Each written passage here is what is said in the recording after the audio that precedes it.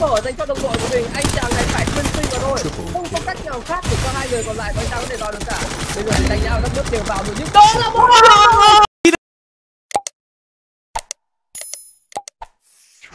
họ đứng nhắm lên trên bo. Họ đang gần bo nhất trong thời điểm này. Chín kill. Và chưa có dấu hiệu dừng lại ở đây. Oh my goodness, đây là 9 kill dành cho bên phía TG Thậm chí họ còn đang đủ 4 người và đã bấm chân được vào tới trong kho rồi